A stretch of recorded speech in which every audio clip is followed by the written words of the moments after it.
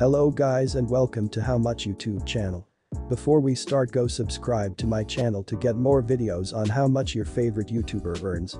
And click on the bell icon to get all notifications and never missing any new video. Now let's get started. So how do YouTubers get paid? They make money by placing ads on their videos. And placing more ads equals more money they can make on their videos. The second thing is CPM it means the cost per thousand views.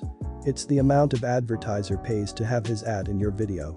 And they spend on average $4 per thousand views. And it's calculated based on how many people watch the video and from where they are watching. Many factors affect the CPM, and it's included demographic content gender, time of the watch. YouTube also will take 45% of your ad revenue from the advertising. Now let's go over EXOcontralto channel analytics.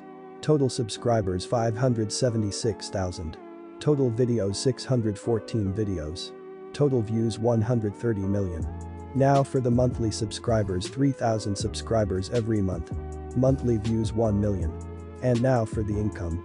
The monthly income will be 1 million views multiplied by 0.004 equals $4,000 every month.